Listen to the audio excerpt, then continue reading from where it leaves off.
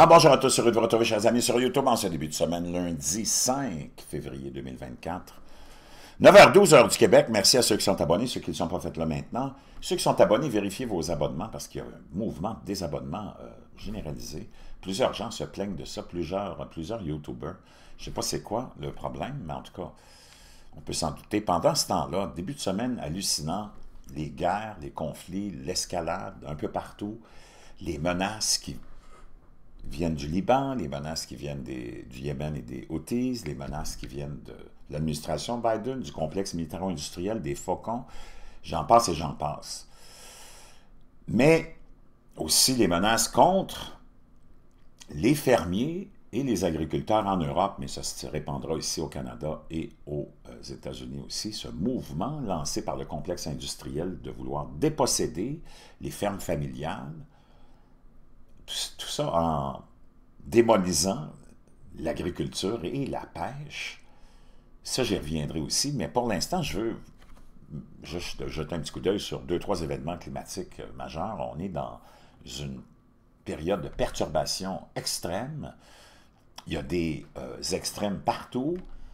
Les euh, changements climatiques sont cycliques. Tu as des périodes de glaciation, déglaciation. Tu as des grands minimums solaires, probablement dans lesquels on est en ce moment dû à la faiblesse des trois derniers euh, cycles solaires. Et dans ce temps-là, il y a beaucoup de dérèglements au niveau du Soleil, de son atmosphère, de sa magnétosphère, de la Terre aussi, du changement de pôle. Il y a toutes sortes de choses qui rentrent en ligne de compte cette année, l'année prochaine. Attendez-vous à quelque chose d'immense, probablement. Tout le monde se prépare, même Joe Rogan en a parlé. Je vais vous revenir avec cette euh, intervention de Joe Rogan concernant euh, une tempête géomagnétique d'une ampleur incroyable et de plein d'autres choses. Tout le monde est inquiet. On le voit, il y a une anxiété partout. Oubliez les conflits et tout ça. Mais juste au niveau de ce qui nous attend, au niveau d'astres cosmiques, c'est vraiment pas rassurant. En Californie, le déluge a commencé alors que les habitants doivent évacuer à cause d'un cyclone vraiment euh, nucléaire, on pourrait le décrire, nucléaire, potentiellement mortel, qui devrait provoquer des vents de force d'ouragan et déverser 8 000 milliards de gallons de pluie avec 37 millions d'habitants sous avertissement d'inondation. La dernière d'une série de tempêtes euh, atmosphériques, hein, de fleuves atmosphériques, comme on les appelle, devrait provoquer de fortes inondations dans une grande partie de l'État. Eux qui ont eu des années de sécheresse, là, je peux te dire une chose, c'est fini depuis deux ans, il y a de la neige et de la pluie, comme c'est pas possible. Les résidents des comtés, il ne faut pas oublier que toute cette pluie-là, et toute cette pluie qui s'accumule dans les bassins, dans les euh, réservoirs naturels qu'on a créés, ben, ça vient aussi augmenter le risque d'un grand séisme. Ça, ça a été prouvé, ça a été étudié. Cette accumulation d'eau dans certains endroits, comme ça va se produire là, peut amener à la déstabilisation de la croûte terrestre et provoquer des grands séismes. Les premières images ont été publiées montrant la Californie frappée par des pluies et des vents potentiellement mortels, alors qu'environ 37 millions d'habitants restent sous alerte d'inondation. Mais j'avais autre chose là-dessus. Euh, je ne sais pas si c'est celle-là ici. Los Angeles risque de victimes, si on le savait, je vous en avais parlé de celle-là hier. Euh, mais là, on a des coulées de boue qui traversent aussi euh, Hollywood Hills. Et il y a des maisons, des gens qui ont été ensevelis sous la boue. On a les services de premiers répondants, les pompiers qui s'apprêtent et s'affairent à évacuer les gens. Il y a beaucoup, de coulées de boue qui ont euh, lieu aussi en même temps que ces pluies diluviennes. On parle de déluge. Euh, on parle de déluge complètement euh, hallucinant. Donc là, laissez-moi aller voir The Watchers. Parce qu'en ce moment, il y a des feux de forêt aussi au Chili. très, très, très intenses. Incendies de forêt dans le centre du Chili qui ont fait au moins 112 morts des centaines de disparus et la destruction de milliers de maisons. Ça, c'est rapporté aujourd'hui. on avait parlé de ça déjà depuis quelques jours.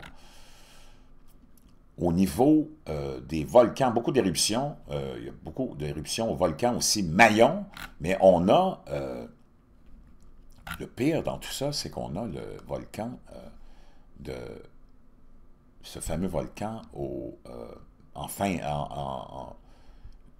en, juste en Finlande, le fameux volcan, ou non, en Islande, le fameux volcan en Islande qui provoque d'énormes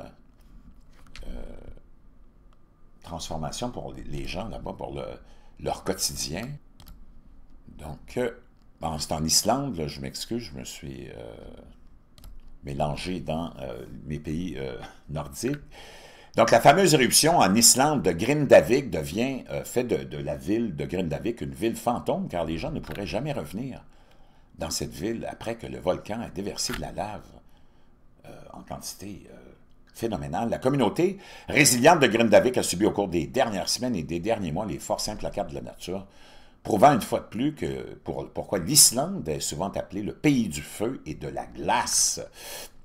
Trois maisons de la péninsule dans le sud-ouest de l'Islande ont été détruites le mois dernier, mais là on s'attend à encore plus de, d'éruptions. Leur avenir est incertain.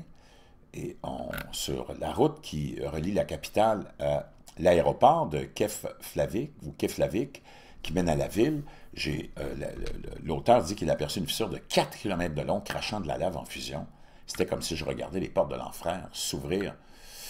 Grindavik a été épargné pour le moment, mais l'éruption a eu lieu à 3 km de là. Mais d'autres fissures ont aussi ensuite été découvertes dans la ville, incluant les autorités, incitant les autorités à fermer et à commencer à réparer les euh, infrastructures endommagées. Donc, comment ça va se terminer? Euh, en février, les habitants euh, de Grindavik se retrouvent dispersés à travers le pays, incapables de vivre dans leur ville natale. Donc, est-ce qu'ils euh, auront ou ils pourront retourner dans cette ville-là? c'est très, très, très difficile de... Imaginez-vous, ça, change une vie, ça. Et tout ça, suite à une éruption volcanique, comme on a aussi beaucoup d'autres situations comme celle-là qui sont euh, très, très, très... Euh, comment, comment on pourrait les décrire? Très risquées pour des populations près de volcans parce qu'on est dans une situation de grand minimum solaire où l'activité solaire, toutes les euh, radiations qui viennent vers la Terre, il y a une augmentation de 19% des radiations cosmiques qui viennent euh, du Soleil, de tous ces électrons, protons, euh, qui peuvent avoir un certain impact sur l'activité euh, souterraine, sur l'activité volcanique, sismique. Je peux vous dire une chose, Popocatépetl, qui est à quelques 70 km au sud-ouest de Mexico, qui est un super volcan, est aussi très à risque pour toute la population qui vit là. Euh, c'est vraiment pas loin, là. Et il y a eu beaucoup d'activités. Il y a plein d'autres volcans comme ça qui sont très actifs. Attendons-nous à de très, très grands cataclysmes, parce que c'est une question cyclique aussi. Et euh, quand tu regardes ça, je peux te dire une chose. Wow! Activité sismique, encore une fois, à Hawaï, à Kilauea et beaucoup, beaucoup d'éruptions solaires à venir, tempêtes aussi peut-être à venir. Un abonné, Daniel, me disait ça, m'envoyait des liens, euh, comme quoi euh, il y aurait une forte chance que une tempête géomagnétique qui s'oriente vers la Terre nous touche euh, dans quelques jours encore. Donc, beaucoup d'activités. On, apparemment, on a atteint déjà, même si le 25e cycle dans lequel on est vient de commencer, on aurait déjà atteint le sommet de ce cycle, le pic, donc, ça veut dire qu'on tomberait vite dans un minimum, encore là, de ce 25e siècle, ce qui confirme un peu la thèse de certains, euh, de plusieurs même scientifiques qui pensent qu'on est déjà entré dans un grand minimum solaire. Ça sent ça quand tu regardes euh, les détails des anciens grands minimums solaires et de ce qu'on décrivait comme événement et de ce qui se produisait. Il y a beaucoup de similitudes.